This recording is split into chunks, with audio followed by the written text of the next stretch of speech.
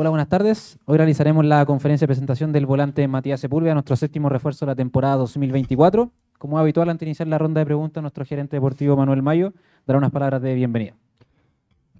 ¿Qué tal? ¿Cómo están? Buenas tardes nuevamente. Eh, bueno, ahora sí, finalmente podemos presentar a, Matías. Me habían preguntado el otro, el otro día por él. Como también dije ese día, un jugador que, que como club hemos venido siguiendo hace mucho tiempo. Eh, un jugador que, que, también el entrenador nos había pedido incorporar. Eh, tiene unas características eh, desde el primer minuto que, que, lo vimos jugar, distintas, muy distintas a lo que se acostumbra en el fútbol chileno, un volante eh, de más de un metro ochenta, con una pegada muy sobresaliente, con un gran recorrido dentro de la cancha, fuerte además, muy buena técnica, como persona también nos ha demostrado ahora en los entrenamientos un compromiso al 100% y, y se ha acoplado muy bien al grupo, así que estamos muy contentos, darle la bienvenida y estamos, sabemos también que él tenía muchas ganas de, llegar acá y que está muy contento también y, bueno, esperamos que sea un gran, gran año. Así que bueno, los dejo con, con nuestro refuerzo. Muchas gracias. Ahora iniciaremos las preguntas a los medios de comunicación. Comienza Vicente Quiñones de Recreo Deportivo. Matías, buenos días. Bueno, me imagino que viste el partido el otro día frente a la Unión Española. Queda la sensación de que Universidad de Chile tiene muchísimos nombres en el centro del campo y al mismo tiempo va a haber mucha competencia. Eh, ¿Qué tiene Matías Sepúlveda que pueda aportar a ese centro del campo y si también te perfilas como titular en los próximos desafíos de la U? Hola, buenas tardes. Mira, primero que todo, estoy muy agradecido al club. Eh, la verdad que estoy muy, muy feliz, con muchas ganas de llegar a una institución tan, tan linda y tan grande. Eh, con respecto al partido, bueno, yo lo vi ahí de, la galería y se vio muy bien la idea que, quería el profe. Eh, el equipo se sintió cómodo. Eh, creo que, como te digo, lo que vio el profe salió, salió muy bien y obviamente hay que seguir mejorando, que eso nos va a llegar a, llegar bien al, inicio del campeonato. Y yo por lo particular, yo sé que, que en un equipo como, como la U siempre va a haber competencia y eso nos va a llevar el nivel a, a todos los jugadores y como te digo, vengo muy preparado para, este lindo desafío. Siguiente pregunta, Cristian Aburto, la chispa del deporte también a nuestro refuerzo. Buenas tardes, Matías. Buenas tardes. Eh, bueno, una faceta de tu juego muy importante es el disparo de media distancia, la pelota detenida, e incluso dos goles, eh, primeros goles profesionales creo que fueron contra la U, también desde, desde fuera del área. Y una persona a mí también me decía que cuando estaba en los campeonatos del colegio no te dejaban jugar porque le pegaba ya el arco y era gol. Entonces, eh, ¿cómo crees que puedes potenciar en la U esa faceta eh, del tiro de media distancia y si crees que puedes em, solventar esa faceta de la U que no la ha tenido hace tantos años? Muchas gracias. Buenas tardes. Mira, la verdad es que yo soy muy autoexigente conmigo mismo y esas facetas que, que tengo como cualidades, siempre las quiero ir mejorando día a día y más con, este profe que, nos exige al, 100% cada entrenamiento. Eh, eso me ayuda mucho para seguir creciendo como, jugador. Siguiente pregunta, Gonzalo Quiroz de ESPN, también a Matías Sepúlveda. ¿Qué tal, Matías? Estamos en vivo para Sport Center. Em, bueno, tus cualidades ya están claras. Eh, por algo la U también te venía siguiendo. Eh, había otros clubes también que habían preguntado en su minuto tu desarrollo profesional indica que tus características no son tan habituales dentro del fútbol chileno.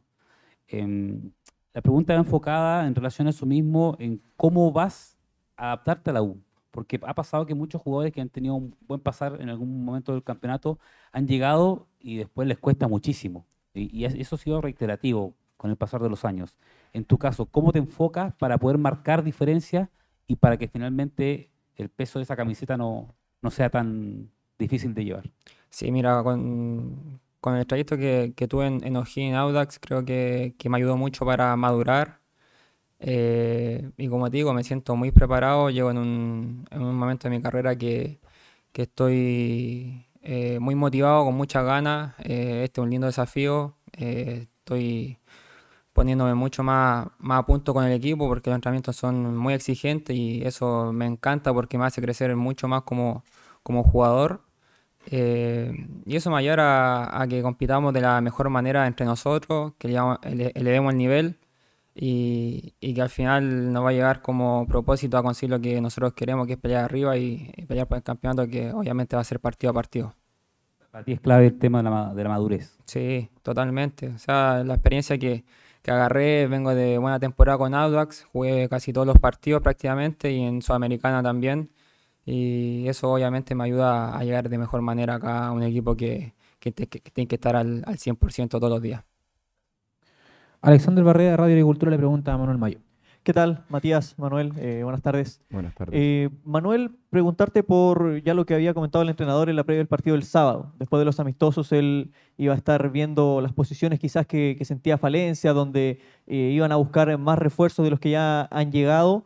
Eh, consultarte si es que ha habido alguna reunión en lo que va de esta semana, estos dos días eh, después del, compromiso con Unión Española, si es que se han juntado con, Gustavo Álvarez para hablar de, alguna posición que él haya sentido durante el partido con, el equipo hispano, si es que requiere eh, reforzar o si es que ustedes como gerencia deportiva también vieron de su parte que eh, falta algún refuerzo más en, el, en, el, terreno de juego por, parte de la U. Están, por ejemplo, el caso de Matías, que es un jugador que ustedes venían siguiendo desde antes y que se acordó con Gustavo traer, o el caso de Luciano Pons, que es el entrenador que, lo busca y, y acuerda con ustedes traerlo.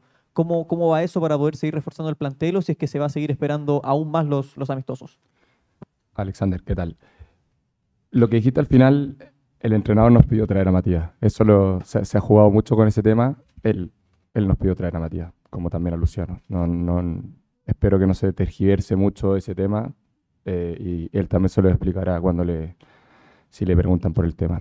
Eh, con respecto a las reuniones, tenemos reuniones diarias. Quedo muy contento con el, con el partido, entendiendo que es un primer partido, como dice, de pretemporada, con muchos cambios.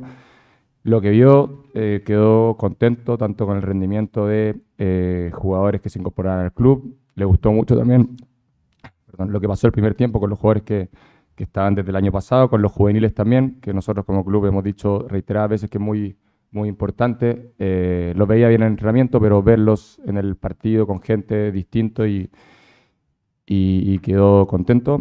Pero, pero cualquier cosa que hablemos sobre posibles incorporaciones será probablemente a la vuelta de, de los dos partidos que tengamos, que tengamos en Coquimbo hemos traído hasta ahora lo que, lo que Gustavo nos no ha pedido. Pero como, como dije la vez pasada también, eh, pueden pasar cosas, eh, hay se va a seguir evaluando, eh, hay que ver cómo, cómo avanza el, el, rendimiento del equipo en estos partidos y, y, conversaremos probablemente a la vuelta de ese viaje. Continúa Leonardo Mora de Radio ADN. ¿Qué tal, Manuel? ¿Cómo le va? Buenas tardes. Matías también, bienvenido. Buenas tardes. Eh, Manuel, eh, preguntarte un poquito con respecto al tema de jugadores juveniles que podrían partir a préstamo en los siguientes días. Sabíamos algo de José Matías Fernández y Santa Cruz, pero también anoche vimos en redes sociales eh, eh el primer contrato también profesional de Dani Navarrete, de Flavio Moya. si nos puedes contar un poquito acerca de, de eso también. De Retamal, pues. De Retamal, perdón. Sí. David Retamal. y que, ¿cómo está esa situación? ¿De qué jugadores puedan partir? Porque también salía dentro de la lista, por ejemplo, Enzo Fernández, pero me imagino que eh, tú, todo en general, eh, los hinchas también quedaron maravillados con ese gol que se mandó en el partido el día pasado. Entonces, ¿cómo está la situación de evaluación de los jugadores, sobre todo de estos juveniles que podrían partir en esta temporada? Bueno, lo, de Enzo nos pone muy contentos. Eh, es un jugador que, ha demostrado siempre su, sus cualidades en el fútbol formativo, que como club eh, vemos que tiene la, calidad para transformarse en un jugador importante para la U eh, al igual que Matías tiene una buena pegada y otras características que no me, no me voy a extender. Y, lo del otro día, cuando hace un gol un jugador de casa, no, nos ponemos doblemente contentos, lógicamente, y sobre todo la calidad de gol que es.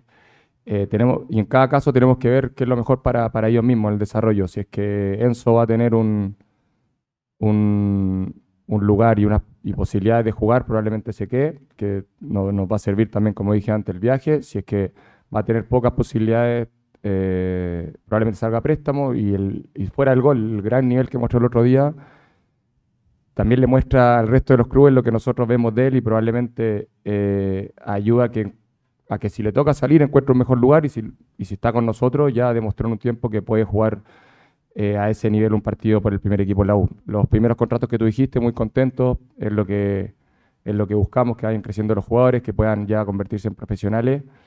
Y, los, los, partidos el otro día ya vamos viendo quiénes tienen más minutos y los que no, eh, hay que tomar decisiones. Si es que creemos que lo mejor es que tal vez estén disputando más minutos con la categoría proyección o si hay alguno que eh, ya tal vez necesita un, eh, necesita un nivel mayor, tal vez ir a buscar a primera, primera vez, y siempre lo vamos a pensar qué es lo mejor para ellos, qué es lo mejor para el jugador, dónde se va a desarrollar de mejor manera, porque con todos los jugadores que, que mencionaste, creemos que en el corto o mediano plazo van a ser jugadores importantes para la U. Lo que pensamos es eh, cuál es el camino para que se conviertan en ellos. Entonces vamos decidiendo con Gustavo y con, con el club eh, cuál es la mejor opción para cada uno.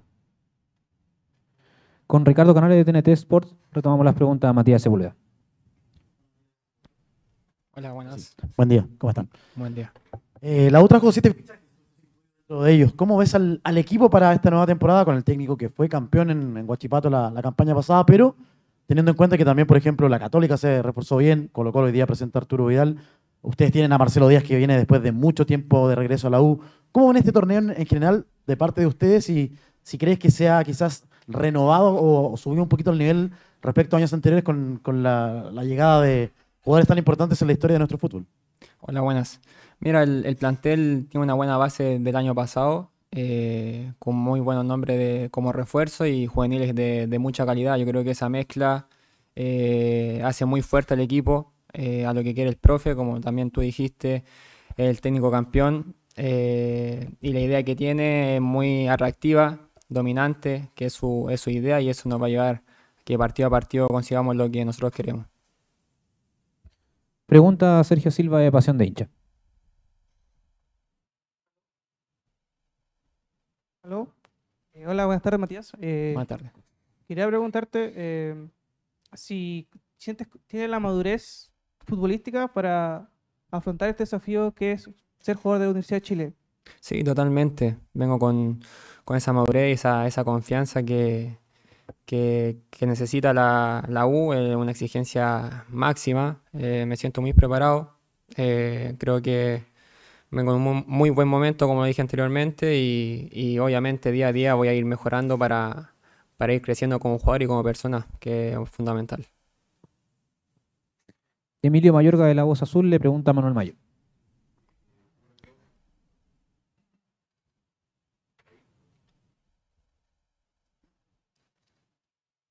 Hey, aló. Sí. Eh, bienvenido Matías. Eh, bueno, buenas tardes Manuel. Eh, quería preguntarte sobre algo que señalaban a inicio de pretemporada eh, de darle más identidad al club, darle más identidad al plantel eh, y considerando también, bueno, ya retornó Marcelo Díaz, eh, retornó Nicolás Castillo a Católica y Vidal a Colo Colo.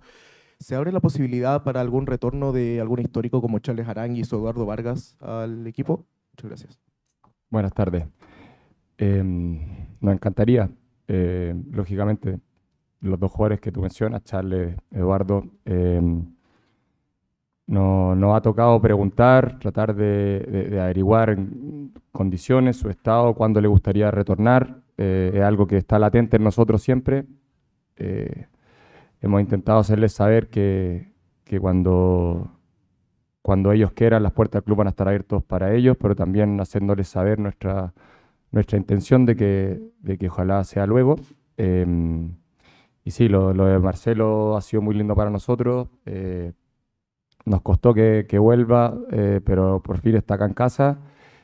Hasta ahora ha sido muy lindo su liderazgo con los jugadores. El otro día verlo en la cancha, disfrutar con la gente, la verdad fue emocionante. Y si, y si en el corto plazo logra- logramos que, que vuelvan los jugadores que, que tú dijiste, estaríamos, estaríamos encantados y muy, muy contentos de tenerlos de vuelta. Maximiliano Videla de Radio Cooperativa le pregunta a Matías Sepúlveda. Hola Matías, ¿qué tal? ¿Qué tal? En- durante tu carrera, bueno, acá también lo decían, se, se ha hablado mucho de tus características, acá también lo hemos hecho, de, de- de tu pegada, eh, de, de tu buen pie, eh, pero también se, se habla mucho de que esas características aparecen por un par de partidos y después desaparecen quizás por otro par y después vuelven a aparecer cierta irregularidad en tu rendimiento. ¿Sientes que eso el año pasado, con lo, todo lo que jugaste en Audax, lo has empezado a superar y crees que este año en la U puedes ya eh, asentar un rendimiento más regular? Sí, totalmente. De hecho, desde que llegué a Audax, eh, los, los dos años que estuve ahí fui, fui muy regular. Eh, cuando llegué tuve que jugar eh, Copa Libertadores, después todo el campeonato, el año pasado también Sudamericana y al final eso te da la, la experiencia y madurez que se necesita para, para estar acá, que tiene que estar a, al máximo, como te digo siempre, y, y la verdad que muy, muy contento, este desafío lo tomo con, con mucha alegría, con la responsabilidad que, que conlleva, pero también hay que, que disfrutar el momento, que es una institución hermosa. Desde que llegué acá todos me recibieron muy bien, la parte de dirigencia, mis compañeros, el, el profe, todo el cuerpo técnico, la verdad que estoy muy contento de estar acá. Rodrigo Pérez de Radio Sur Chile. Buenas tardes a ambos. Eh, tardes. Matías, eh, acá los colegas destacaban tus habilidades y dentro de tus cualidades, ¿cierto? Ya claro está, está el tema de, de- de tu pegada con la pierna izquierda, ¿cierto? De hecho, Universidad de Chile lo sufrió en algún momento ahí en el Estadio Nacional. Eh, y tomando eso en consideración, hace mucho tiempo, como también, también lo decía un colega, eh, no se ve un especialista zurdo en patear tiro libre. Si llega a venir el momento donde llegue un tiro libre para la U, ¿están las condiciones y la confianza para decir, muchachos, esta es mía, yo voy a ser el especialista en tiro libre de la U? Sí, obviamente quiero aprovechar mis cualidades acá dentro de- del plantel. Vengo recién conociendo a mis compañeros, obviamente lo había visto eh, el año pasado también a, lo- a los que estaban acá. Y, también, o sea, dentro del plantel también hay jugadores que le pegan muy bien, como Lea, y eso se va a ir dando. O sea, los dos eh, tenemos buena pegada, vamos a ir practicando en, en los entrenamientos porque al final igual eh, es lo que ya la práctica, la, la perfección, y eso se dando durante el partido. Obviamente yo estoy preparado y, y como te digo, en los partidos se dando, pero obviamente tengo muchas ganas ya de, si me queda una, obviamente tener la confianza y, y pegarle. Bueno, así concluye la ronda de preguntas y para finalizar esta actividad se realizará la fotografía oficial con la nueva camiseta de Matías Tuco Sepúlveda.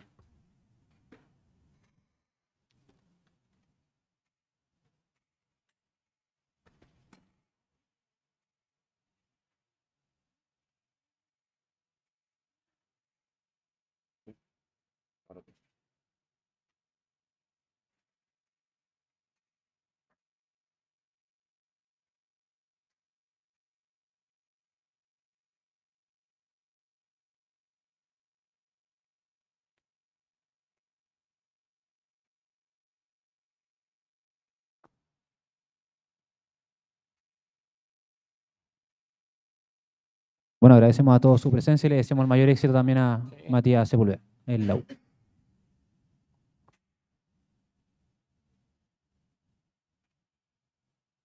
Muchas gracias. Muchas gracias.